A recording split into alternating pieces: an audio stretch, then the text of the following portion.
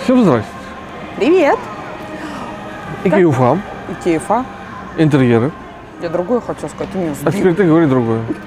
Друзья, всем привет. Мы Отойдите от света, вы все выглядите ужасно. Зато доброе внутри. муж. Очень тяжко, когда оператор, он же режиссер и он же монтажер по совместительству муж. Я же выжать могу. Не пошлешь, понимаете? Потому что дома потом ответочка прилетит. В общем, мы в Икее Уфа. Мы уже сняли обзор по всему магазину, а сейчас мы хотим вам показать интерьеры. Ребят, скажу сразу, интерьеров не так много, как мы рассчитывали, но самые интересные мы вам покажем. И очень много базовых, которые есть в Нижнем Новгороде, которые вы миллион раз видели. Но мы повторимся по первому обзору, что Икея Уфа очень схожа, прям очень схожа, кроме расположения отделов. С Икеей Нино. с Икеей Новгород. Итак, мы находимся в павильончике. И Кстати, музыку мы- сегодня врубили, кстати. что А? Музыку врубили. Да. Как мы начали эту запись, и тут навалили музончика. Тут, нам. 39 квадратов помещения, но здесь не 39, его походу разделили. Да, Дим, его разделили, здесь явно не 39, здесь половина, Ну, квадратов тут, 20, не больше. Я вам сейчас сразу покажу, чтобы не был диссонанс. Тут как раз обновляют интерьеры. Да. Интересное помещение, что-то наподобие гостиной, конечно, много всего напихано, но как идею расположения можно при- взять за основу. Что мы здесь видим? Диван Хольмсунд э, в обивке Норвалда в таком нежно-зеленом цвете. Трехместный диван-кровать с кучей подушек. Это тот, та Норвалда, которую мы пытались в Краснодаре раздербанить. Линейка Леоторп, в принципе, вся линейка Леоторп здесь представлена в классической форме.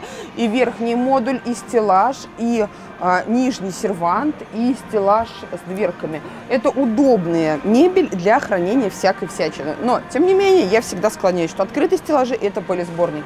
Стеллаж должен быть закрытым, тогда это и лаконично смотрится, и у вас нет ощущения бардака. Конечно, в помещении очень много цветов, возможно, в обычной жизни столько не ставится, но здесь, в принципе, нашлось место для всего. И для дивана, и маленький детский уголок, куча цветов, хранение, и еще и кресло Страдмон. Поэтому кто примерно таким вот помещением владеет и хочет что-то подобное, подумайте, возможно, вам подойдет. Но это не живой интерьер, очень много напихано. Ну да. В реальной жизни жить невозможно. Вы постоянно будете А биться что- об мебель. Да, это спо- спо- специальная Икея расположила максимально возможную мебель в этой комнате, чтобы было у вас какое-либо представление. Я очень И переживаю за появилась ли обзор. Он вообще останется на ютубе, потому что очень много трень-дрень-дрень.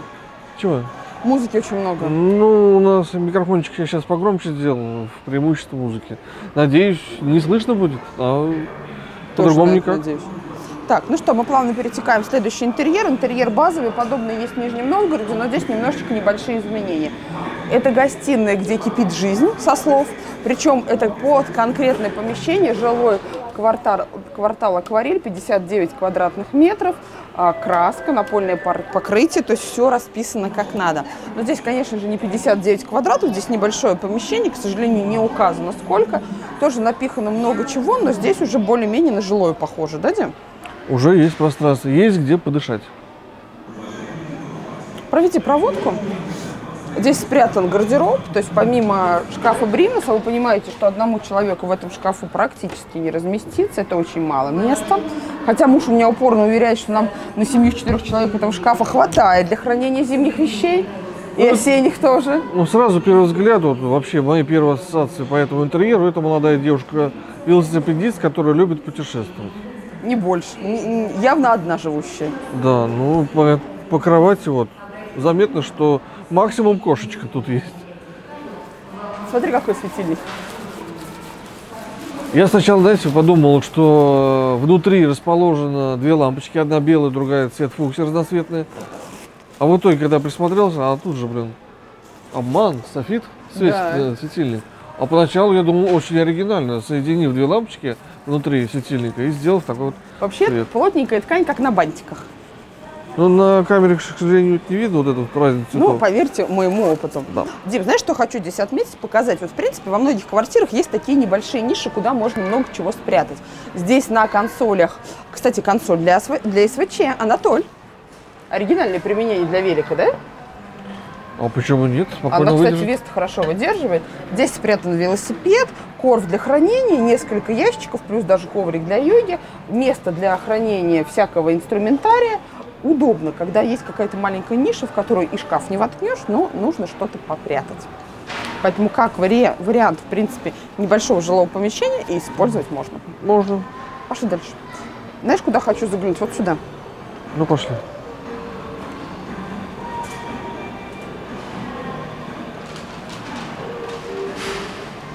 Тридцать один квадрат, зона гостиной и рабочего пространства.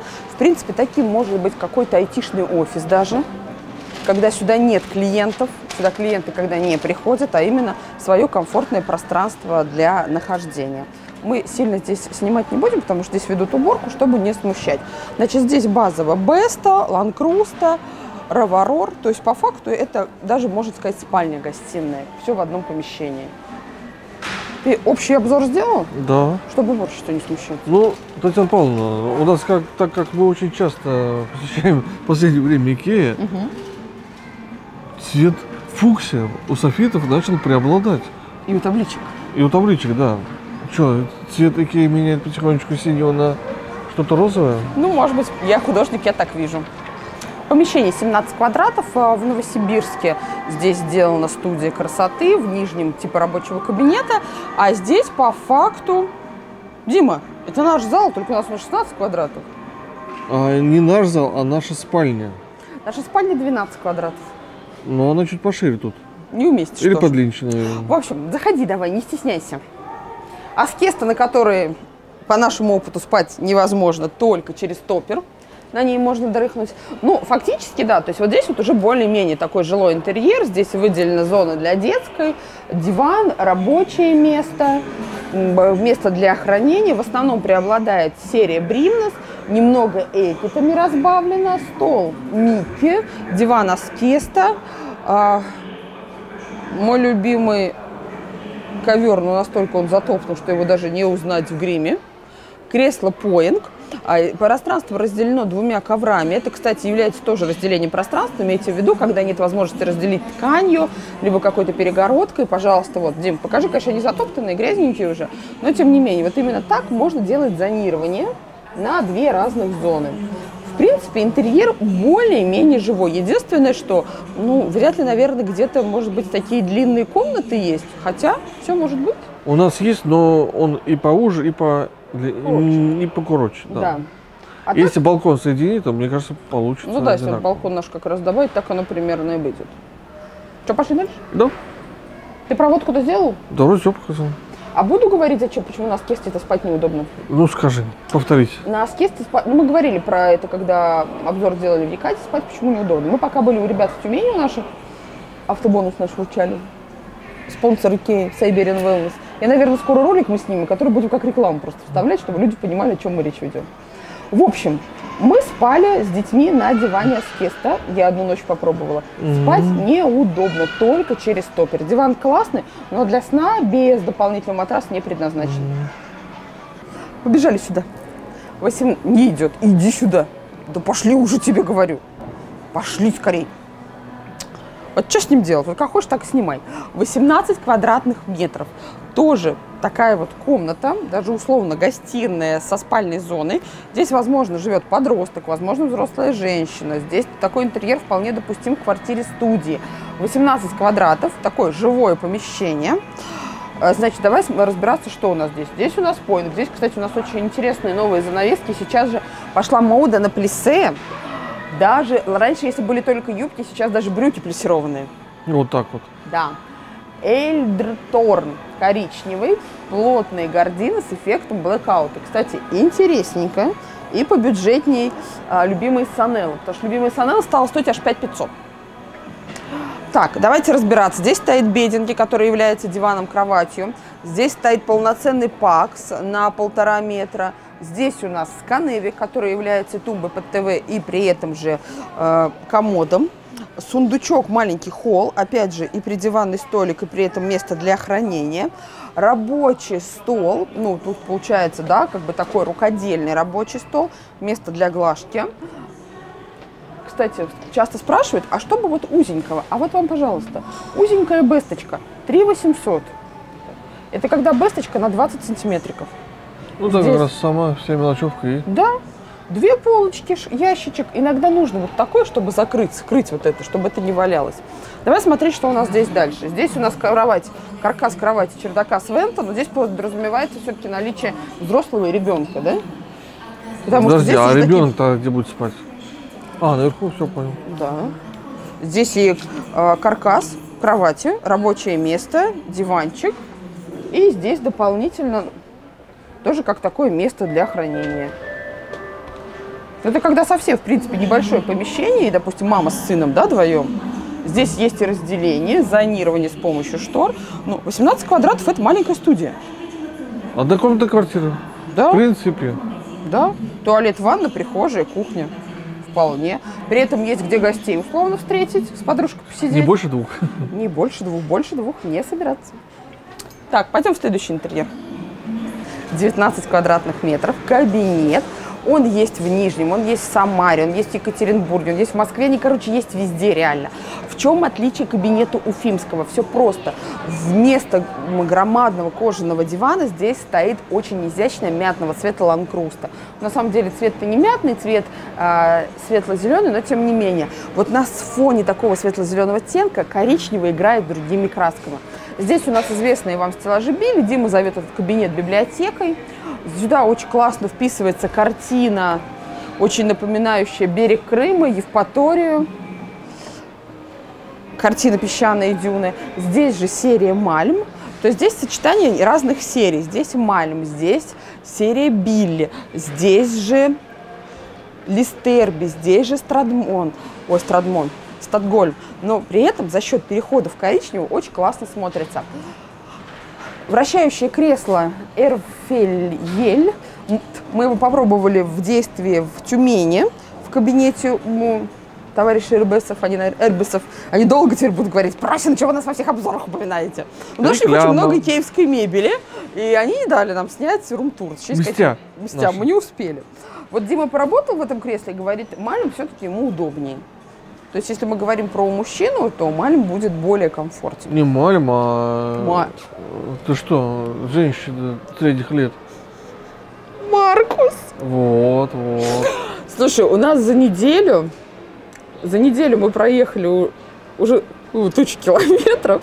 У нас уже третья Икея, то есть не внутри одного города, а третья Икея, Икея Тюмень, Икея Екатеринбург, Икея Уфа. Поэтому мне стопроцентная скидка. Кстати, смотри, как интересно использована Билли. Не только библиотека, не только какое-то хранение в коробах, но еще и посудный, красивый, ну, условно, сервант, да, ра- раньше бы назвали наши бабушки. Да. В общем, в таком кабинете можно, в принципе, хранить все. Вот я бы не отказалась. Мне бы удо- здесь комфортненько было бы работать. Есть где прямой эфир провести, есть где встречу провести, есть где подремакать, да? Юрич, ты Ну, тоже не тебе сюда холодильник и э, горшок точно. И все. И, и стену замуровать. И иди снимай один. 29 квадратных метров, спальня, гостиная, детская зона. Подразумевается наличие двух деток, а возможно даже трех деток. Потому что, смотри, грудничковая кровать – раз. Дальше детская зона дошкольника – два. Погодки. Да, и детская зона школьника 3. То есть фактически это как будто бы родительская спальня. Я не представляю такую картину, Татьяна Павловна. А что так? А, совсем молодой организм, подрастающий и шкалатрон. Гремучая смесь, Татьяна Павловна. Не, ну дети-то отдельно. Папа будет приходить только зарплату отдавать и уходить дальше. А, нет, подожди, а по логике подразумевается, малышарик спит тут, а двое детей спят, наверное, на лифтеле. Неважно, где, кто где спит. Главное, что днем тут творится. Вот что. Вот вопрос, как надо Что задавать. творится? Апокалипсис каждый день. А что так? Таким родителям, у кого такие дети, и все в одной комнате, конец света не страшен. Честное слово. И я не думаю, что белый цвет будет практичен. Потому что Если двое шпанов, ситуация. двое шпанов точно обрисуют что-нибудь. Как минимум. Белую мебель, то, ну, цветочек нарисуют. То есть как бы интерьер-то интересный, но Он жи- светлый, красивый. За счет того, что небольшое помещение, белый цвет дает, дает еще больше визуализацию, да, что как бы больше номинала, как якобы, да, интернет, это помещение, но это непрактично. Диме просто дурно стало. Там есть двумя уже, вот, как в командировке-то. А чё так? Достаточно. А чё так? Я, наверное, скотчем это зам- замажу, замажу вам рот и в Саранск поедем. Или, это, или музыку погромче. Музыку погромче. У нас малая стала уже, хотя ей нравится, ей по кайфу. Так, Татьяна Павловна, вставайте. Я чувствую... У меня прям жопа прям сегодня прям норовит где-то посидеть. Ладно, давай изучать, смотреть, что здесь есть. Здесь у нас стеллаж Калакс, это удобная система для хранения школьника, то есть сюда можно все разложить. Здесь у нас панели Скодис, причем аж под потолок, походу есть в этом, возможно, необходимость. Но так-то обычно, ну, максимум 4 панели, 6 панелей это многовато. Дальше рамки, место для творчества, шкаф Эйкит идет здесь как комод, хотя, честно, я бы поставила, наверное, или Обхус, или бы поставила сканевик тот же. Нерентабельно с точки зрения детской, плюс очень острый угол. А, полка книжная, которая является же детским этим домиком флисат. Здесь у нас Беста. Здесь у нас растущий стол Поль со всеми э, прибамбасами для творчества. Дальше мы переходим. Здесь Обхус Смастат. Фактически раньше это была линейка Стува, теперь это вот таким образом. Мне очень интересно, почему по четыре ручки на две дверцы. Наверное, потому что я художник, я так вижу. Не больше. Что бы было? Ну, наверное, только чтобы было. А дальше мы переходим здесь плавно. Кстати, смотри, как хорошо сочетается. Обхус каркасы. 55-е. Неплохо встали с паксом. А за счет чего? Казалось бы, здесь есть разница, да? Но она не так заметна. Она не так заметна, плюс крышки дополнительные верхние, как бы обрисовывают, дают объемность и не видно. А самое главное, Чало. самое главное, тон одинаковый.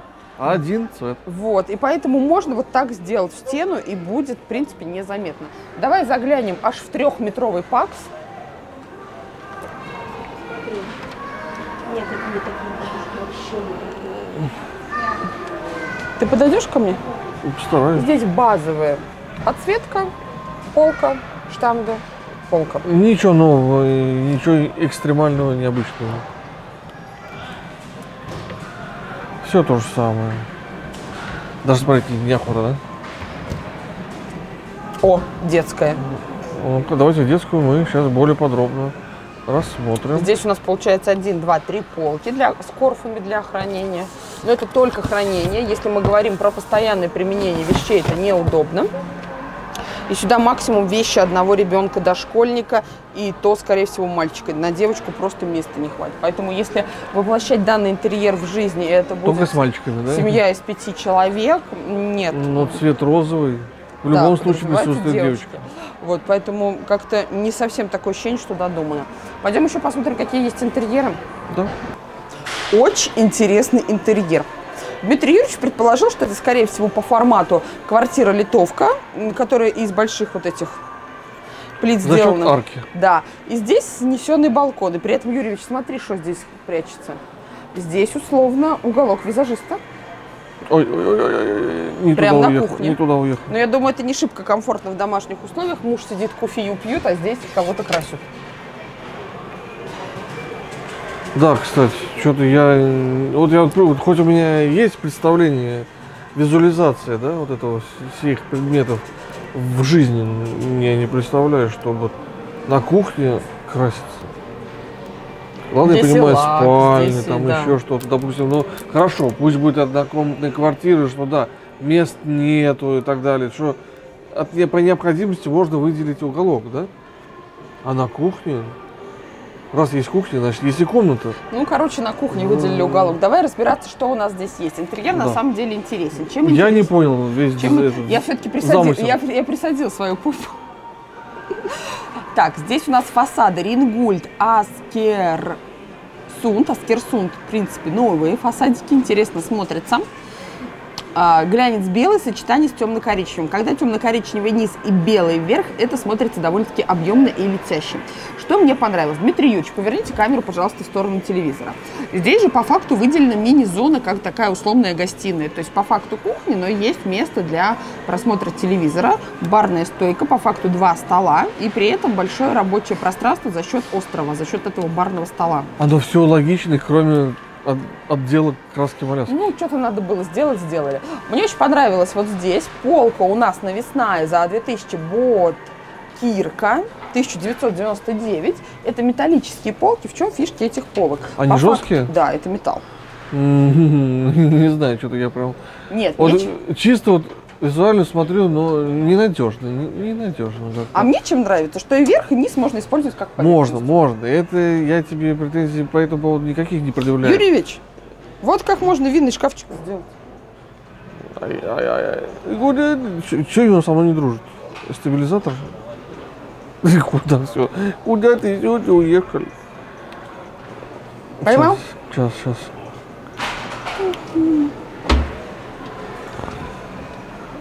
Не, мо- можно, можно.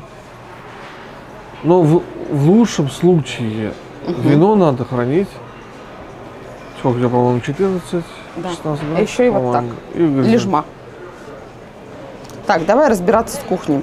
А здесь у нас барные стульчики стоят. Давай покопаемся, что в кухне. Кухня 67 580 рублей, размер 172 на 2,36, а, значит, дополнительно мойка 15 тысяч, сифон 1100, смеситель 6 тысяч и бытовой техники аж на 120 тысяч. То есть сама кухня без начинок, без раковины, мойки. Получается, здесь, скорее всего, посудомойка будет спрятана, духовка, вытяжка. Давай разбираться, что у нас здесь есть. Здесь у нас базовая дверка для крупного, просто большой выдвижной ящик, угловой каркас, ба- А нет, он вот здесь закрывается. То есть спрятан сюда. Дальше под духовочный шкафчик. Здесь посудомойка. Вот она, кстати, узкая посудомойка, которая Вот, грозит мы нам. такой возьмем, поуже. на 5 тарелок. На пять тарелок. Да подожди, где пять тарелок? Вытащите, пожалуйста. Тележку все полностью.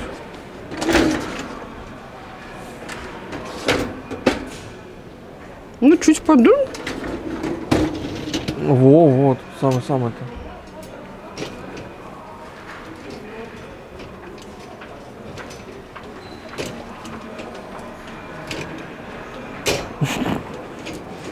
Фокус не удался, да, ты понял?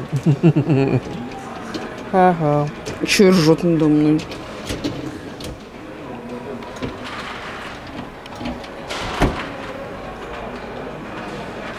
И вот здесь, кстати, очень компактное хранение всякого. А есть ли у кого опыт владения э, вот такой раковины? Ну ты хоть покажи, раковина какая. Квадратненькой. Раковина Норшон. Одна из самых дорогих раковин, кстати. Маленькая, дорогая раковина. Удобно ли вот это мыть? А, кстати, при посудомойке большая раковина особо, мне кажется, не нужна будет. Вот мы в квартире, в которой заселились в Уфу, раковина небольшая и глубокая, этим очень удобно. Да? Потому что у нас раковина большая, но мелкая, и в ней неудобно. Но, подожди, она по глубине примерно так же. Ну, Нет, у нас мелче. Ну, 3-4 у сантиметра нас можно. мелче. Вот даже не спорь, ты посуду не Женщина. моешь. Вот признайся, ты посуду моешь? Да, Когда? всегда его, когда тебя дома нет. А. Колпак. Над колпаком, кстати, тоже правильно сделал, выделено место под хранение. Потому что чаще всего это оставляют пустым.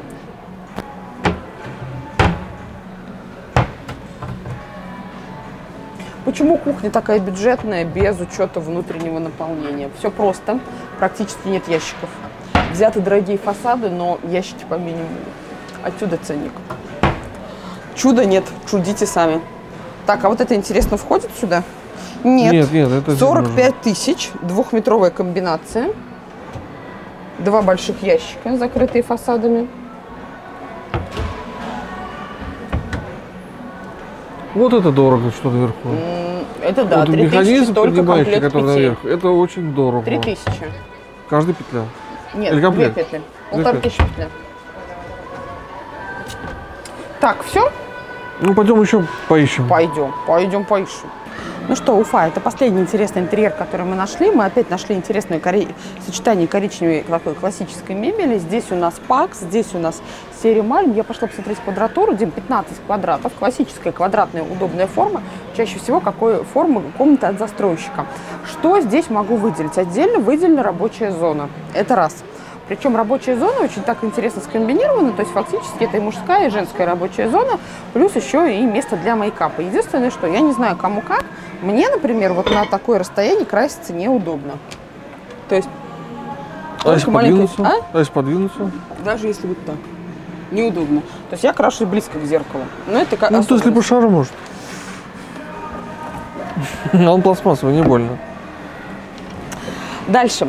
Если мы говорим про домашнюю эксплуатацию, э, кресло без колесиков тоже неудобняк, то есть его нужно вот примерно вот так. Здесь у нас стоит мальм, здесь э, тоже кровать мальм уже с ящиками, Э, зона для книг, для каких-то бумаг. Причем, смотри, еще здесь Это очень- маленькая библиотека. Да, причем смотри, здесь, возможно, даже как бы комната искусствоведов, художников. Здесь лежат большие альбомы. То есть чаще всего такие книги используют именно искусствоведы. Но это отдельная песня. То есть места довольно-таки много под эти вещи. Часть стеллажа выделена под украшения, часть под книги. Зона для чтения. Повторюсь, большая удобная кровать с дополнительным хранением в виде выдвижных ящиков. Полки Масленда служат расположением рамочек и картин. Это когда не хочу кучу дырок сверлить, хочу две максимум. Ну, Нет, четыре. побольше будет. Ну, шесть.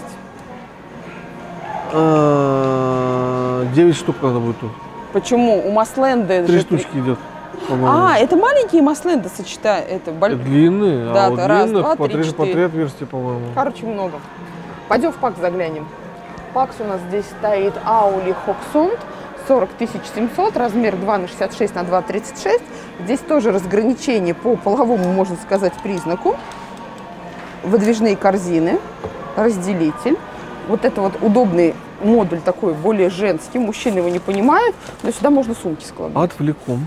Ну давай. Достайте, пожалуйста, портоплет наш любимый. Сумочку. Его нет нигде по России сейчас. А, нет, в Уфе, оказывается, есть. Вот я хочу как раз жителям города Уфа, вам повезло. Пока есть в наличии, берите. 1300. Сколько километров они с нами намотали? Да. Штанга и стандартная полка наверх. Вообще, когда берем шкаф 236, верхняя полка обязательно для того, чтобы вы могли какое-то несезонное хранение использовать именно туда. Ой, какое интересное сочетание. Я первый раз так вижу. Из двух каркасов? Это фактически угловой каркас, который поставлен прямо. Угу. Мне Мне кажется, из двух полтинниковой. Да, Из двух полтишочков. Два полтишочка, думаешь? Да. Один метровый два полтишочка. В принципе, 2 сантиметра должно мешать, но по факту не мешает. В общем, здесь э, разделили мужскую зону и женскую. У мужчин, соответственно, верхняя одежда всегда меньше, но больше таких вот вещей. И при этом даже часть выделили под какие-то дополнительные вещи. Вот, кстати, очень интересный шкаф. Э, Давно не видела от дизайнеров готового решения необычного применения, которое, в принципе, Икея ну, не шибко использует. Чаще всего это база. Ну что, друзья, мы, в принципе, все, что хотели по интерьерам, вам показали. Сразу скажу, в Уфе интерьеров немного, но сам магазин нам понравился. Ну и плюс из небольшого количества интерьера все они очень родственно похожи с интерьером Нижний Новгород, с которым мы снимали уже Не раз. не раз. Смотрите, пересматривайте. Будем рады. Кстати, для тех, кто вообще не знает, куда он попал, вы попали на канал про Икея. Нас зовут Татьяна и Дмитрий. По-другому нас можно в соц- в соцсетях найти Неугомонные Просины. А, Доставкой товаров Икея мы занимаемся с 2010 года, а YouTube-каналу нашему будет скоро уже целых 4 годика. Мы становимся взрослыми, скоро пойдем в школу.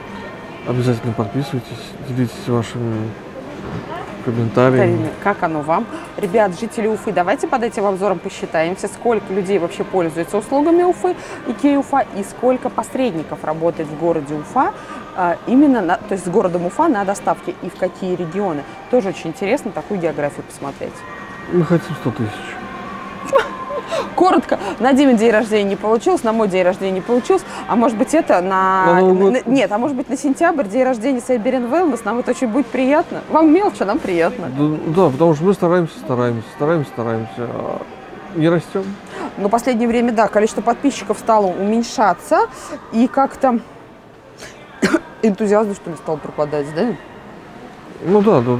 Потому что вот по-честному, мы бы ни за что не приперлись в Икею Уфа, в Икею Екатеринбург, если бы у нас не было большого автопробега, поездки по ключевым партнерам Siberian Wellness. Кто не знает, мы являемся еще сетевыми предпринимателями, топ-лидерами компании Siberian Wellness, Сибирское здоровье. Обо всем об этом у нас есть второй канал, куда можно пройти посмотреть. И вот на самом деле, если бы не Сибирка, Целенаправленно мы, наверное. ни за что. Во-первых, это не рентабельно от слова совсем. А, Тысячи километров до Уфы, туда-обратно две тысячи, то есть расходы на бензин, аренда жилья, питание. Ребят, нет, то есть доход с Ютуба как раз полностью сожрал бы за месяц всю эту поездку. Нет, с точки зрения предпринимательства нет. Так, ну все, закончили тему, дальше погнали. Отметились окей, Уфа. Штампик ставим. Мы тут были. Виртуальный. Пока нет физической наклеечки, пока ставим виртуальную. Да, вот да, вот там. Погнали. Все, пока.